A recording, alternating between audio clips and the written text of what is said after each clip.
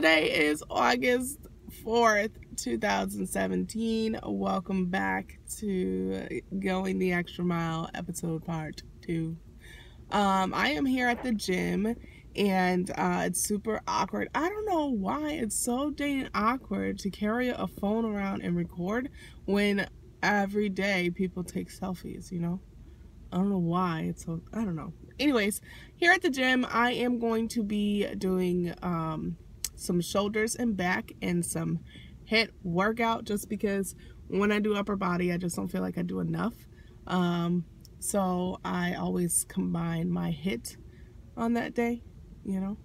Um, so yeah that's what i'm gonna be doing today. I'm gonna try and get some of it on camera just because it's a little wild. I feel like it's gonna be really busy today for some reason. Um, but it's super hard to carrying around a tripod tripod and then putting in the right angles it's just you know your girl's not a pro yet. But i'm gonna get it. I'm gonna get it. Anywho um yeah so i'm gonna go work out.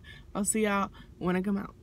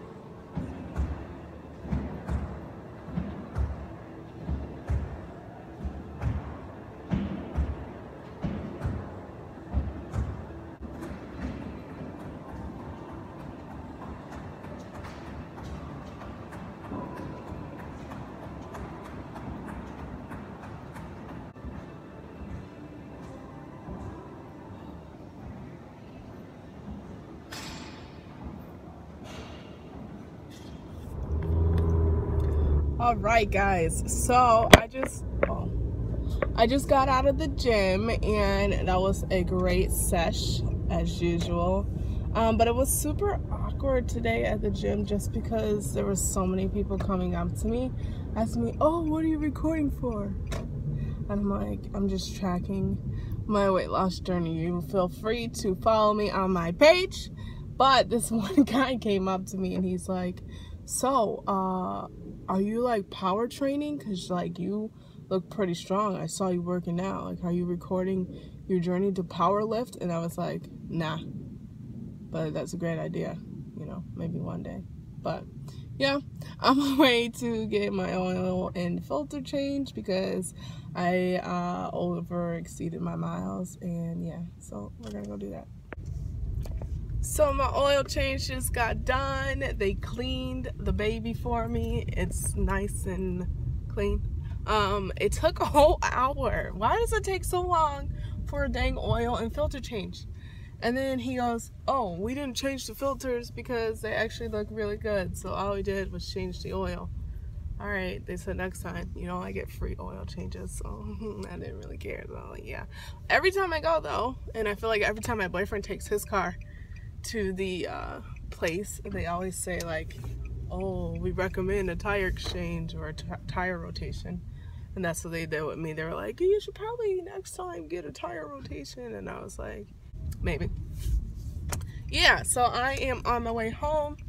I am going to eat some lunch. I'm gonna go ahead and finish editing this video. But that is about it for today, guys. Go ahead and comment below what you would like to see more in my videos. I'll see you guys tomorrow.